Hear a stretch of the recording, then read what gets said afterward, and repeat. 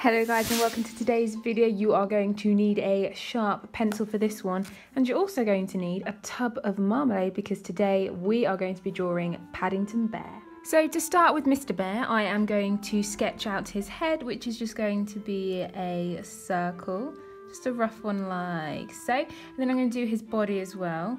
So it's all about making shapes. So it looks a bit like this. So just a rough idea at the moment.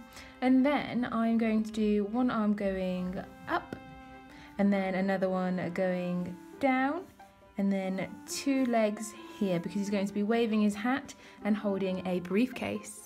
So as you can see what I have done is shaped Paddington's arms and legs on one side and then I'm going to show you how to do it on the other. So it's almost going to be like a mirror of this one and I'm following the lines that I have drawn. It's giving me a guidance. So I'm going to take this one down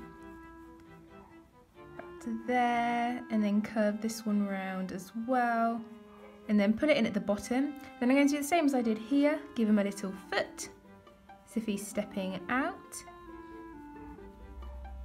You can probably hear my dog barking. And then at the top here, where his hand is up to be waving, I'm going to start here and pull that up and then I'm going to add a paw. So this is just a rough idea at the moment, a rough sketch and then I'm going to show you how to do the face. Okay, so for the face, what we are going to do is sketch out a cross. So just to give us a rough idea of where we want the eyes, nose and mouth to go. So just above halfway of this circle, I'm just going to draw a line going across like that. And I'm going to do another one splitting the face in half and has a slight curve in it because I'm going to have Paddington looking that way. It's really important when you're drawing to do it very lightly so then it's easier to rub out because I'm always making corrections and it would be even harder if I did it really hard in pencil. So I'm going to add in his hat now. Just going to go up here, his classic hat. So that's what he's going to be waving in the air. So I'm just doing the top part. And then the kind of outer edges. So that's the hat done. And now I'm going to do his suitcase. So we've got a little bit of 3D perspective going on here. So what I'm going to do is two lines facing out like that. And then I'm going to join it up. And then the same here. I'm going to make it a little bit longer. So I've got a off-centered rectangle and then I'm going to pull these lines down here. The one at the back is going to be shorter, make these ones longer, and then I'm going to join this one up and then across there. So we're now going to go in and put on the features. So I'm going to start on this line going across here and I'm going to draw an almond shape like that, just roughly, because I can always change it when I get back to it. And I'm going to do a, another one on this side. So that's Paddington's eyes. And then coming down to about here, just a little bit below the eyes, I'm going to draw his nose. Now he has a bear nose. This is one that kind of looks like that. And then I'm going to draw his smile. So you can you can draw a smile how you like, but it's just a little cheeky one the picture I have, he's just kind of smiling like that. And in the new version of Paddington, he has this marking going around his nose. So it starts about here.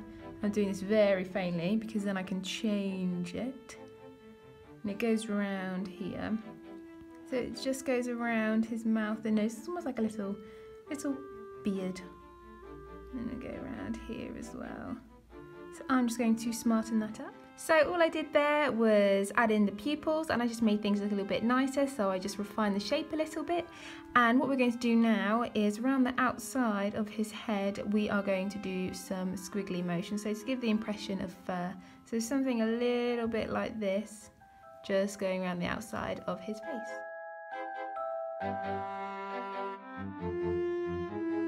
So now that we've done the texture on his face, we are going to start on his coat. So I'm going to start on his arms and I'm going to give him a sleeve. So I'm going to pop a triangle on the outside here, it looks a little bit funny, but then I'm going to take it round and join it up to the top part of his arm.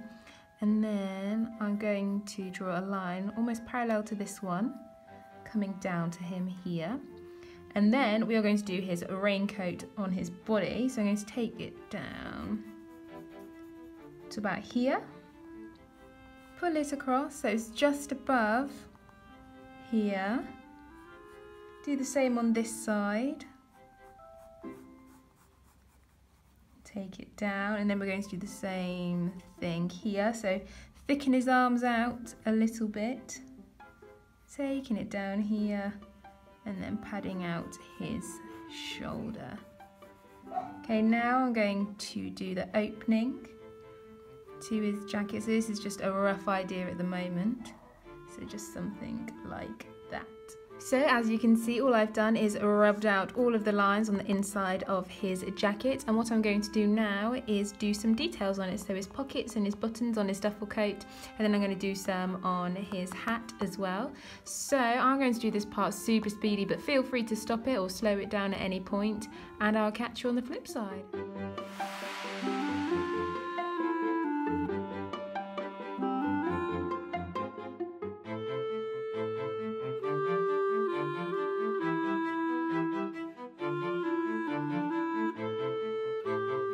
To do now is going to give him some furry legs. So just like we did with his head, just very lightly. It's like bits of fur coming down. And then I'm going to do that on his paws as well. So guys, having looked him over, I think we have ourselves a Paddington bear. So I'm going to take some colouring pencils and I'm going to colour him just like he is in the new films. Okay, so all I'm going to do is start with a light brown and just do some gentle strokes around Paddington's face. So just gentle little strokes like that. And I'm going to apply the same technique throughout anything that's his fur.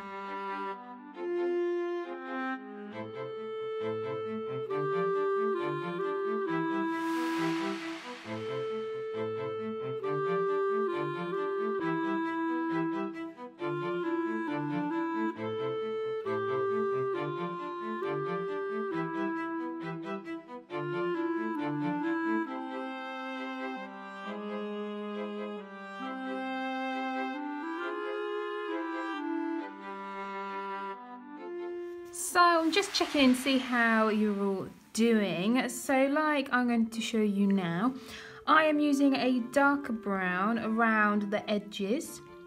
So that helps give a 3D effect. So like I said on my other video, drawing the dandelion, when you do the edges, if you make them darker, you give a sense of round, so 3D. So that's what I'm doing, and I'm just taking my time, just taking my time, little strokes to build up that fur and that texture. And then I've got one more leg to do and then I'm going to start on his coat, hat and suitcase.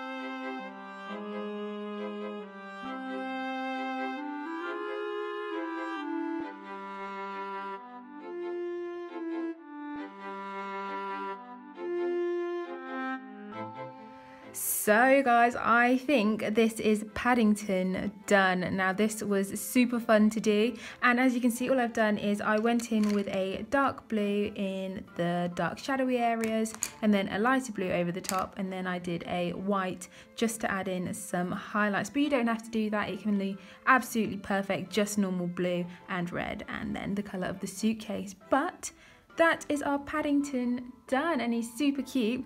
I cannot wait to see your versions of him. He was so fun to do and I love the bright colours. So thank you for watching and I will see you in the next video.